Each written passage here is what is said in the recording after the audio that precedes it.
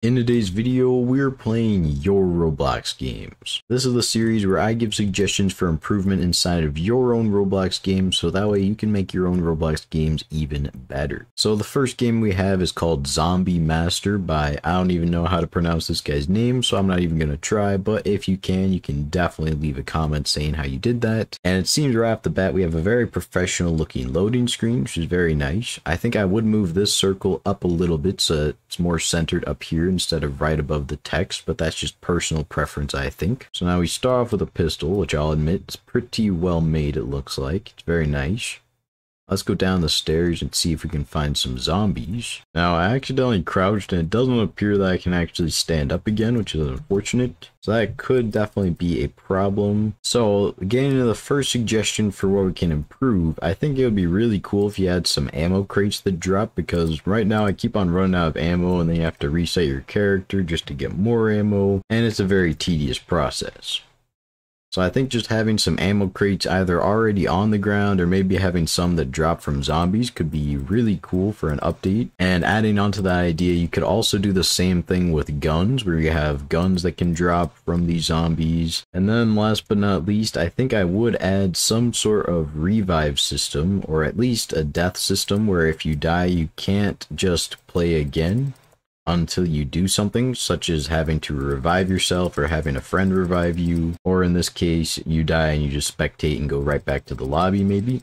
Because otherwise, you can just keep on resetting and dying an infinite amount of times, and there's really no point to surviving. I think ammo boxes would be pretty cool. I think having more guns would be cool think having some sort of death system would be pretty cool. And then maybe even some Easter eggs. I don't know if you've ever played like Call of Duty Black Ops Zombies before, but that one was a pretty cool game. It's got lots of Easter eggs, lots of cool features that you can definitely implement into your own game. But the game still is in an early beta stage, so I'm not going to make too harsh of an opinion just yet. Overall, I think I will give this game about a 4 out of 10 in its current state, but it definitely has the potential to be a pretty cool game. The next game we have is one that I've already done before on the channel, but when I played it, the game was in a bit of a broken state. I'm going to be playing it again, and in case you didn't know already, this game is called Fruit Tower Defense by the ZEGET group. I already have a little man right here, he's called Banana Man, also has a nickname of Peely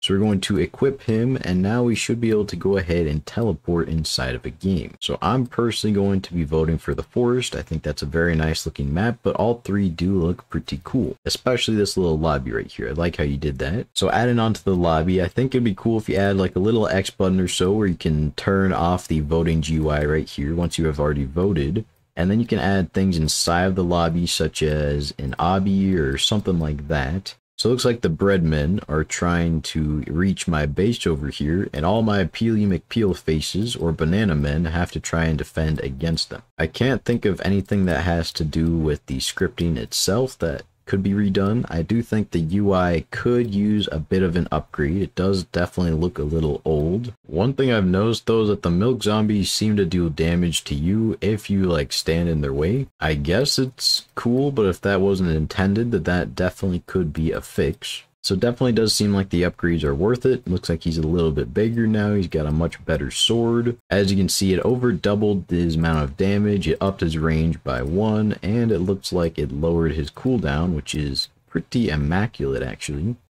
Uh, this is a whole lot of sandwichmen, so we'll see if we can get past this one. But as I was saying before, work on the UI, you could probably improve the maps a little bit, but ultimately it's not the main focus of the game, so I wouldn't worry about that too much. But yeah, I think I'm going to give this game probably an 8 out of 10 in all honesty. It is very fun to play. So it's got some very unique towers, very unique enemies as well. So this GUI is right here because I won, but over on the side right here, you can see how I have all these fully upgraded banana men right here that are right next to the end. I think it makes it way too easy when they're all able to be right next to each other, so you could definitely make it so that you're only able to space them out a certain amount, such as they can only be four studs away from each other instead of being able to be placed so close together, if that makes sense. The next game is called Ichor and Bronze by, once again, I have no clue how to pronounce this person's name, unfortunately. And joining the game, it looks like it has a little bit more to load, so I'm going to go ahead and let it do that, and I'll report back to you guys once this is fully loaded in. So it looks like the game is fully loaded in now, and it looks like I am a soldier of some sort. I really like the body armor that looks like you have and I really like the animations. The game does look to be very well made, and overall the aesthetic is just very cool. I do happen to have a few different tools, such as this match lock it looks like, and just standing here as a nice little idle animation, but if I go into first person, you'll see I am actually able to aim my weapon, and I can even shoot it if I would like to which is pretty cool. However, you'll notice that when I go to reload it, it actually has a really, really cool loading animation You can see he pushes the gunpowder down inside of here.